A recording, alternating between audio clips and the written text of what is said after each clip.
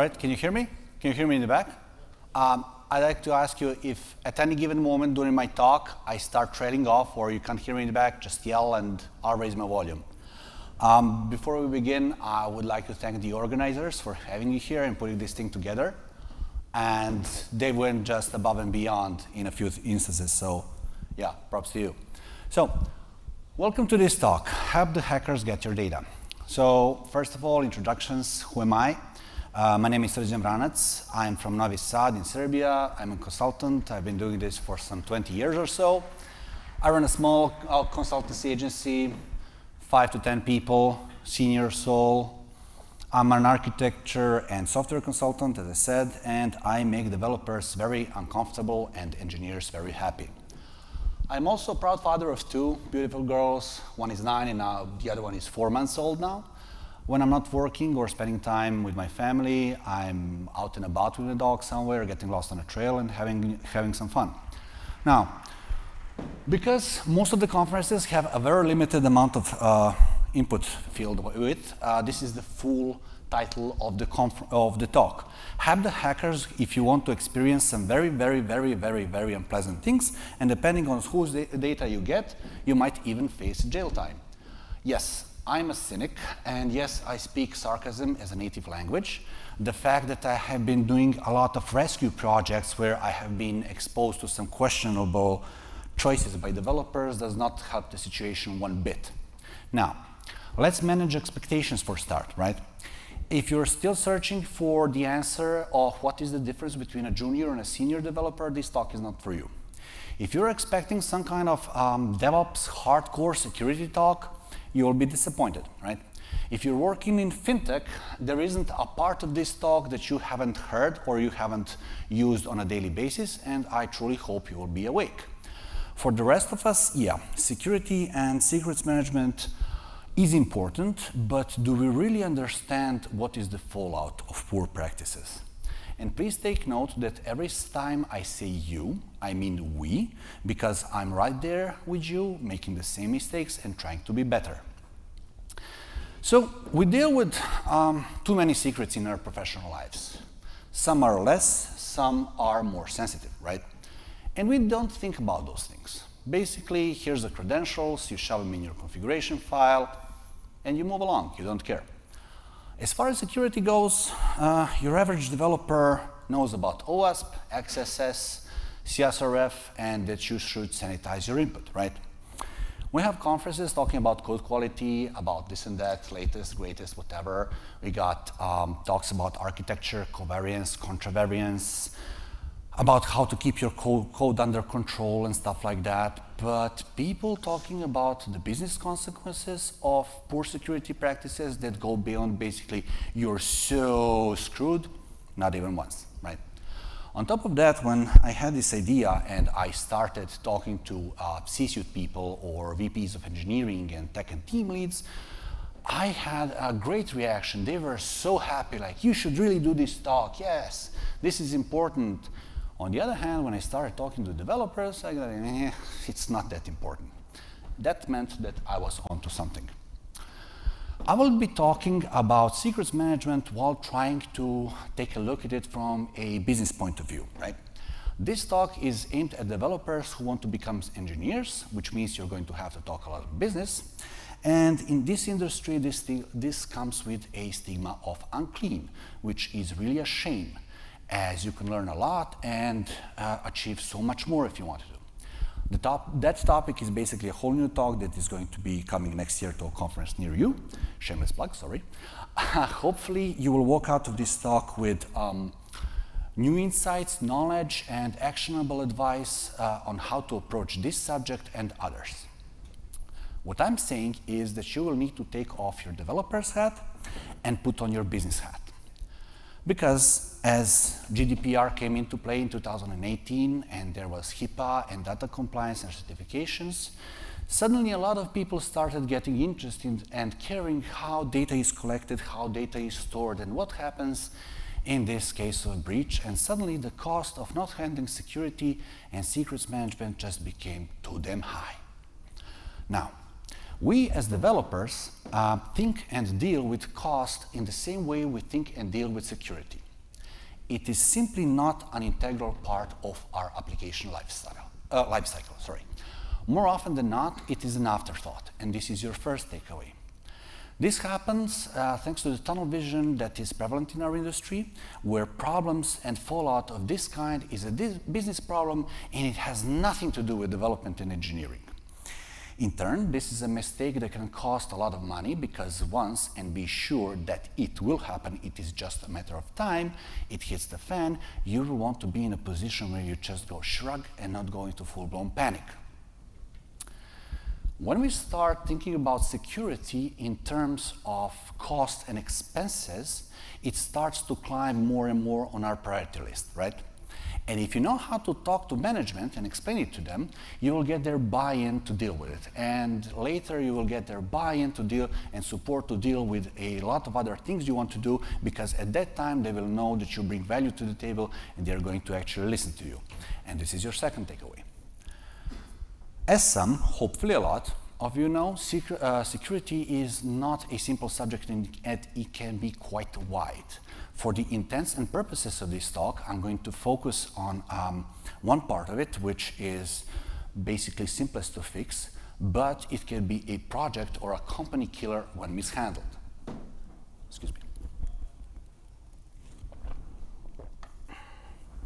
Because a median of 1,793 unique keys are leaked every day on GitHub. And as my friend says, please, please spread the love, right? Leak keys on GitHub, on Bitbucket, and other services. I mean, why put your, all, all of your eggs in one basket, right? Now, let this sink in. Give it some time, right? This is wrong. This should not happen, you know, but mistakes are made and all that, right? Let's try another data point. In the first six months of 2019, more than 4.1 billion records were exposed in data breaches. Again, give it a little time. This information needs to sink in. If you do mental math quickly, you will get to a point, uh, you, uh, a number of 27 million records daily, right? That's a lot. But you know, is it really that bad? Why am I so pessimistic? I mean, let me put this in another way. This kind of data terrifies me, and it should terrify you as well. The fallout of these data breaches is long and strong. This kind of data points are what keeps me awake at night, going over the things that can be done better and making sure that they're not messed up. And believe me, code quality and technical debt are very low on that list. Because these things have a incredible potential damage to the business uh, in both costs, direct and indirect. So what are the common ways of revealing your secrets, right? The short answer would be incompetence, ignorance, and hacking. Long answer would basically mean any, you leave your data store or database publicly available, whether it is Elasticsearch, uh, MySQL, Postgre, S3 bucket, or you know Mongo, right? In all the cases, it means that some poor soul got the task to set it up, but did not bother with the security aspect of it. In case of Mongo, you know what, um, you really don't care about your user data anyway, so authentication is turned off by default, so you get everything, everything you deserve, right? And of course, we have uh, unauthorized access. Now, Suppose somebody gains access uh, to, to your server, and it can be done regardless of your setup, which I hope you have. If you're running Docker Kubernetes, I'm going to assume that uh, your container setup does not run, run under root, and you have the most recent version that has the most recent CVs patched, right? Now, if you have a dedicated infra or ops team, some, um, hopefully they will have monitoring in place with Nagios, Icinga, or whatever they like. But if you don't, uh, I really hope you have at least this kind of tripwire in place. Uh, this is basically a simple script that is going to send you an email notification when someone establishes an SSH connection. Because the person who is going to access your server uh, will operate under the assumption that there is some kind of tripwire in place, and then once they log in, countdown clock starts, right? So they are in a race to, uh, to get as much data as they can, uh, which can then be filtered out later. So if you have your tripwire in place, you get a notification, you check with people who are supposed to have server access, hopefully not a lot of them, and if none of them is connecting to the SSH, then you can take steps to, to stop the bad actor for starter shutting down the server and then proceeding from there, right? So at that point, if you have your secrets and credentials in a config or parameters YAML or whatever, you just handed the keys to your kingdom to someone because you were nice and hospitable. And in return, you're about to experience a lot of things, and some of them are going to be quite unpleasant. From incurring uh, cost for a security incident review by external consultants, via losing profit for the during the downtime of the review, uh, to losing your customers' trust, uh, to possible loss of sales and customers, and your bestest code and ideas will have nothing to save you from this. On the other hand, your attitude towards security and secret management might. Again, secrets, config files, parameters, YAML are really easy to commit, and then weird stories might happen. So, first story. This is the story that I found just as I, I, was about to start writing this talk when the idea materialized. So there was a person working on a project and they were using AWS and in all their glory they uh, were hunting for the best uh, code in architecture. They decided to commit AWS unscoped IAM key, right? They committed it and pushed it to the repository. I mean, what could possibly go wrong, right? Some time has passed and they made the repo public by accident for whole 15 minutes, right? In those 15 minutes, somebody scanned the repository, got the keys that were committed, and went along their merry way. At the end of the man, a month, uh, the poor soul that committed the keys got a $15,000 bill, right? Because someone had fun with keys that were available and they were hospitable. This is a nice chunk of change to, to, to burn down if you're not careful. At this point, AWS now has the billing monitoring and GitHub now scans for uh, IAM keys and such, but back then, nothing of this, this was in place and it was a wild, wild west. On the other hand, this is a story that happened to me. Now, a setup. Um, imagine a system that has to process a lot of data daily and data has to be done by, be ready by 6 a.m. Eastern Seaboard time. That means that we are going to throw a lot of computational power at it to get the results we want, and because we can parallelize the task, we can use background workers and, and yada, yada, yada, right? So one fine day, we get an email from Amazon uh, informing us that one of our keys have been caught in the wild. We check the, the logs and we check the, the system. Turns out that the key has been deprecated six months ago and nothing is using it. Okay, we send an email to Amazon and uh, telling them like, this has nothing to do with us, everybody's happy, Amazon is happy, everybody forgets about it, right?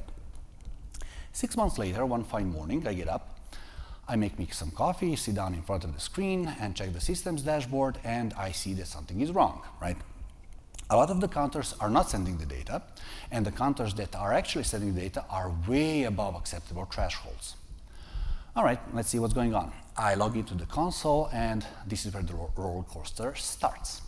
The application was leveraging spot instances as they were dirt cheap and disposable for computing power and mass. There are no spot instances running, and to make things even more fun, the spot instance requests are also gone. I have some EC2 instances running. I cannot spin up anything new because I have no idea why. This is trouble, and this is going to be a long day. Now, I'm trying to contact Amazon support. I'm not getting any, any response. Time passes, three hours are gone. I have some three hours before morning shift starts coming in, and they need to have at least part of the data ready, right? I call the CTO to inform him we have a problem, phone rings for a while, and then sends me to, uh, to voicemail. I call him multiple times. It is as o'clock in his time zone. He's sleeping, he doesn't care, right? I'm trying to contact the Amazon again with my phone number, but they don't call as they don't have my, uh, my number on file, right? Time passes. It is noon, 6 a.m. Eastern Seaboard time. CTO is up, um, he sees the missed calls, comes online, we start talking, and this is where I realize that I just had a masterclass in chaos engineering. The email that was used for AWS support is not something that he uses regularly. He checks it maybe twice a year, right? Took him about an hour and, or, or change to find the password. And then he finds out that the AWS actually tried to, uh, to contact him, but there was no one to reply, right? So he contacts the AWS, clears it with them, another two hours pass. We are now in hour eight of the outage. Information is now coming about what happened. So that key that I mentioned at the beginning of the story, right, where Amazon said it was fine, was for some reason flagged by back audit and AWS decided to protect us by, blocking our whole account. And of course, they used the email on file to notify us, which is awesome. Now that everything is cleared, uh, the account will be restored in the next hour or so. Um, I ask about the spot instance requests and all the other missing things. No luck, they are gone. As the policy uh, of Amazon is to shoot first and ask questions later in cases like this, next couple of hours, and this was on me, uh, I'm, I'm spending all uh, the time putting everything back in place because I didn't have it automated. So some 16 hours later, we are back in business and operational. Now, can anybody guess what is the damage? Just throw a number. Yeah. You really need to be less bashful. So, $1 million in revenue for that day, and daily wages for some 300 people who were prevented from working, but they are going to get paid, right? But yeah, you're more sophisticated than me, right? And more enlightened. And you're with the hip crowd and you know better, so you're using environment variables because awesome sauce, right? And you're using a .env file to set them all up, right? So you have your local dev uh, dot file and you have a uh, different dot, uh, .env file on your server, so everything is fine. There is a chance of committing, but you can handle it with a git ignore. But still, people can do stupid stuff in production. I mean, what can possibly go wrong? Right? Hurts, doesn't it? Yeah. Yeah. Welcome to my world. Then again, even if you have your environment variables in unindexed and used properly, for a skilled person, they are really not hard to collect, and then again, we are back in the problem situation, right? But hey, we're using containers. Good for you, right? So now you're passing environment variables directly to your Docker engine, which then I could use something like this, not to mention the ever-increasing mess that you need to pass more and more environment variables to your containers. For example, you can use a Docker compose file, and it's going to start looking like this. And as this monster grows, how many hours are going to be wasted by keeping in sync with newly added variables with teams who have .env files? And better question, um, how secure is your way of sharing those parameters? Are you sending them via email or a chat client or how, right? But yeah, we're going to switch to Docker secrets, yes, of course. You're going to tell me that you're going to use a file-based clear text located in slash run slash secret slash variable name. Yeah, please tell me more about security, right? Please even if you squint real hard and pretend that this is not an issue, you should keep in mind that some of the official images might contain vulnerabilities, and I'm sure that each and every one of you inspects those images before putting them to production, right? Instead of trying to play Pokemon because you gotta have them all, right? Now, if you're working with a project on a project that has a dedicated infra or ops team and they let these kind of problems in production, you really need to have a long discussion with them, right? With business present, because you need to explain to them that they are making a lot of mistakes and that, that, is, that might cost a lot of money, so they need to improve, right? So now we need to take a look at consequences of these kinds of problems. Up until now, I've been talking about some concepts, but I still haven't used their names. So, in case you don't know, and you might want to learn them, here they are. So, here's an experiment, right? Ask your boss to have company counsel or lawyer present and sit down with you to discuss what will happen in a case where, when your company gets taken to court and sued over data breach, right? And that you have to prove that reasonable security measures have been taken, right? And then when you start talking to, to the counsel or a lawyer and they ask you how are your credentials stored, you'll tell them in a config file. And when they ask, what does it mean? you'll tell them it's a plain, clear plain text, right? So again, what does it mean? That means that anybody who gets them and gets that file can open it and read the set secrets, right? When you say that, sit back, relax, and watch the situation unfold as the information sinks in and as they start to freak out. Then you're probably going to be introduced to a nice term called criminal negligence. But you have insurance, right? And we are covered for that. Some of you might say, maybe if you're covered against cyber attack, right? Until again, it is time to claim it when you have to or determine the premiums, where again, you will have to prove the uh, reasonable security practices, right? Good for you, right? When you, once you start explaining to the adjuster that you're keeping config and, uh, sorry, credentials in config and playtext, like, you got this, you'll prevail, sure. And then we come to certification, right? specifically ISO 27000, right? Hopefully you work on a project that is going to require such a thing, and you will get into a situation where you have a major client coming on board and they are going to ask you that you have this certification because they're bringing in a multi-million dollar deal. And then you're going to learn pretty fast that, thing, that security and secrets management are very costly, and this kind of certification takes a long time. So because you were uh, hunting the, uh, going for the best code and best architecture and you didn't care about this, you're going to have fun time catching up. So this is why I'm talking about uh, cost and security together because more often than not, they are the same facet of the business. And this is the takeaway. The cost and the damage control, the maximizing of profits by not losing sales and decreasing liability potential, right? So now that we know how we ended up in this situation and why it is a bad situation, let's see how we can actually improve the situation. The answer is simple, by using a secrets management application. So what makes a good one? First of all, you want ease of setup and operation, right?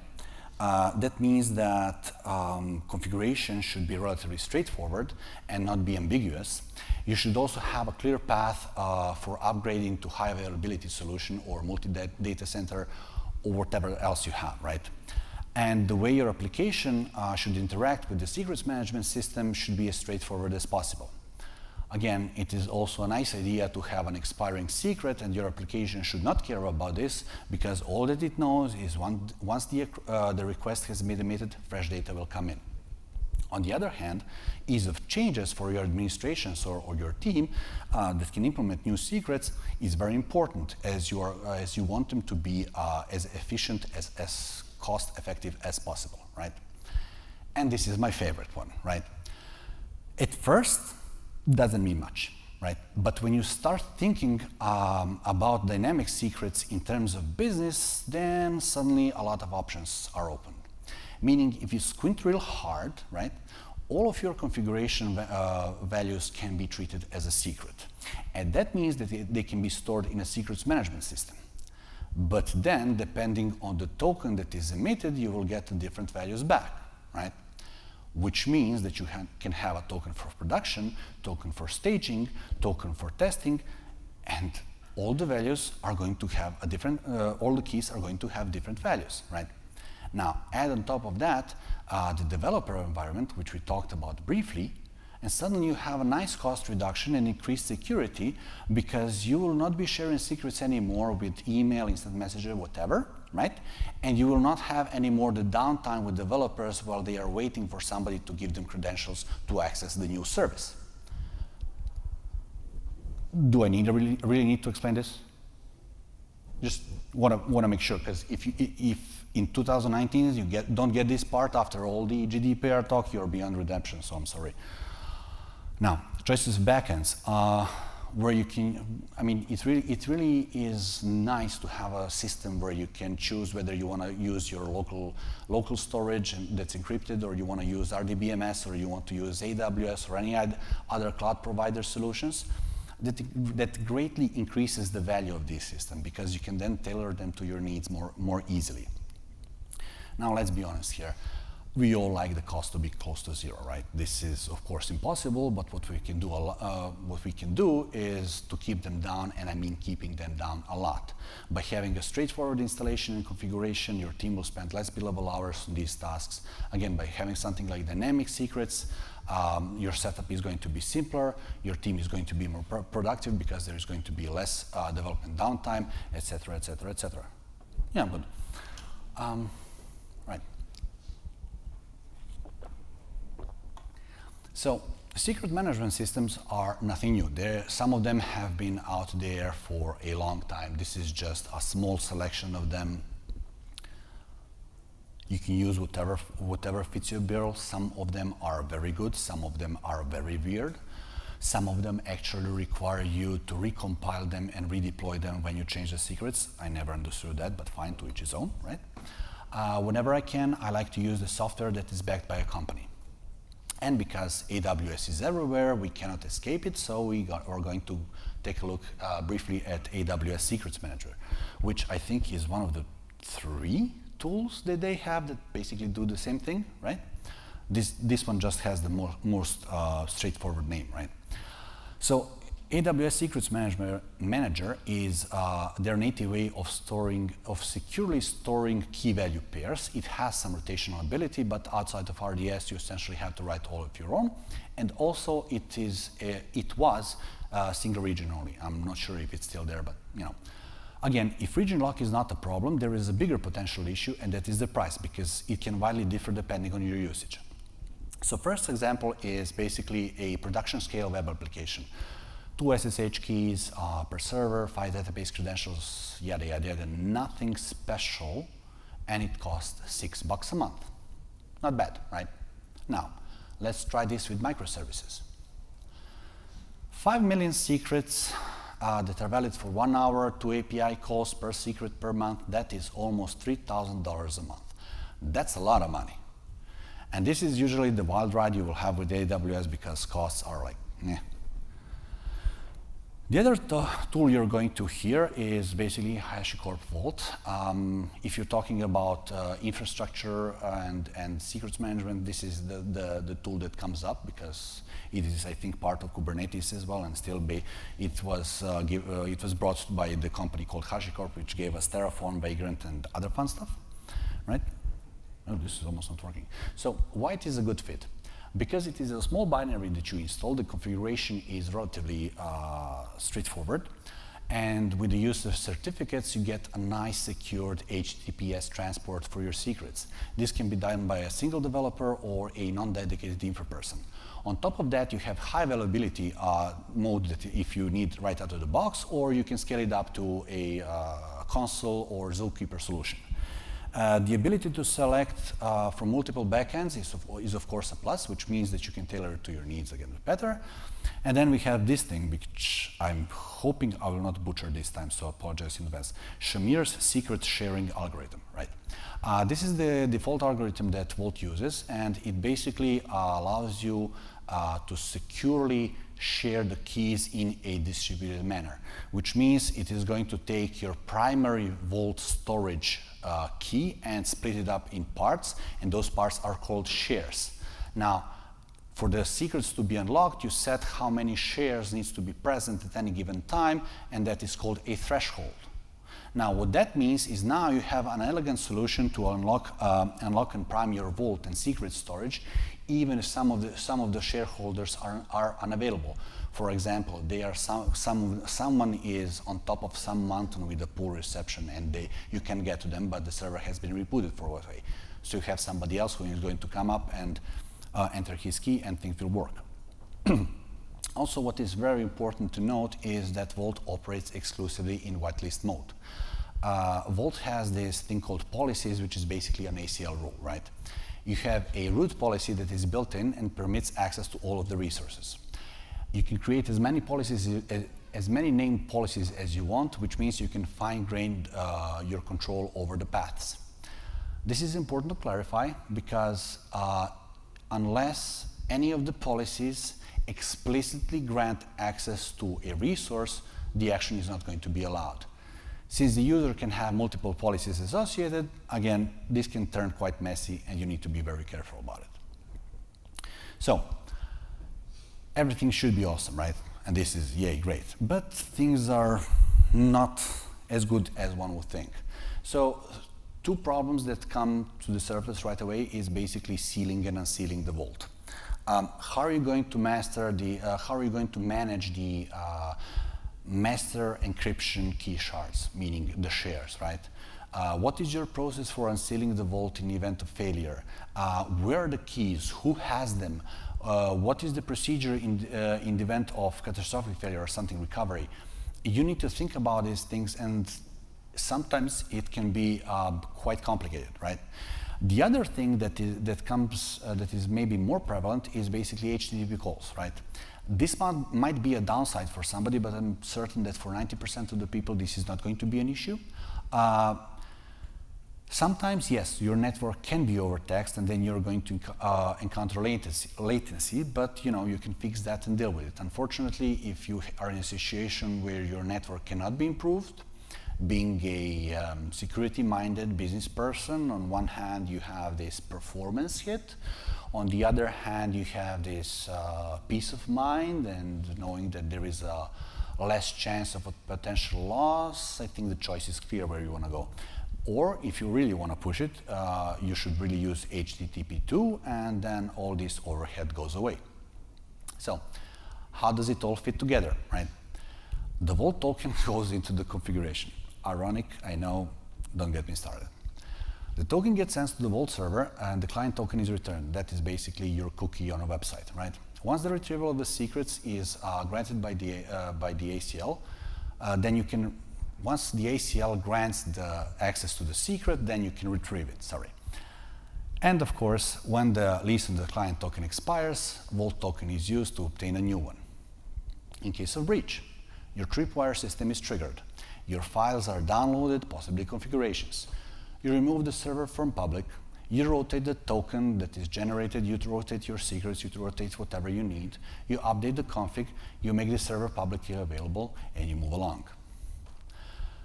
So uh, a question is, would you use a secret management on every project? Um, I go through a list like this. So if I'm using, if uh, we are storing user data, personally identifiable, identifiable information, yes. Are we using or storing any kind of uh, sensitive data? Yes. Are we uh, storing any kind of payments or on the system? Definitely yes. So I go through a list like this that gives me a yes or no outcome. If I'm in a position to make this decision, I'm going to make it. If I'm not, I'm going to take it to the management, explaining to them the problem, and I'm going to recommend it. They might go that way, they might do their own, own cost benefit analysis and decide that the outcome is not worth it, which is perfectly fine, more props to them. I would, like just, I would just like to get in signing that they decline, so it, when it is covered your rest time, I'm ready with the audit trail. So, even with the potential drawbacks using uh, Vault or any other, any other secrets management tool pays off a lot, is your company and your product will be protected from unwanted liabilities. And in case of actual unauthorized access, uh, your configurations will be stored securely. Because according to the IBM security research, sorry, uh, average cost of a large data breach in which more than 1 million records are exposed or lost in 2018 is $3.9 million. Now, if you remember from the start, we were talking about that in, in first half of 2019, daily there were 27 million records lost, right? That means 27 times 3.1, 3.9, right? Uh, are, this figure takes into the account many categories of the expenses that arise from the breach, including lost business, technical investigations, legal penalties, PR companies that need to handle the mess, and employee time spent on recovery. With all this in mind, I believe it is significantly cheaper to invest engineering time to solve this low-hanging fruit than let it run its deadly course. The end. Thank you.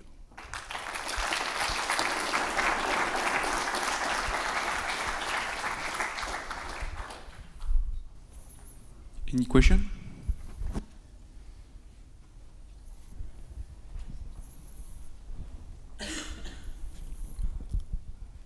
Anyone else? Hi, thanks for the talk. Uh, you were talking about the uh, Ansible Vault in the in the uh, some of the, the, yeah, the list of applications. There was a mention of it, yes. But uh, from what I, I use it uh, for deployments, but uh, it's not like um, it's just storing uh, encrypted things. It's, it's not the same as the, the one you described later, or is it something I, missed in, the in Uh, Ansible yes, Vault? I agree, with, I agree with you. Yes, the Ansible Vault was mentioned, and the idea for Ansible Vault is to store the, the credentials securely so you're protected from your developers. Yeah. But I put it inside because I actually saw it people use as a secrets management tool. So I was like, yeah, okay, fine. I mean, there are a lot of weirder solutions out there. So yeah. Thank you.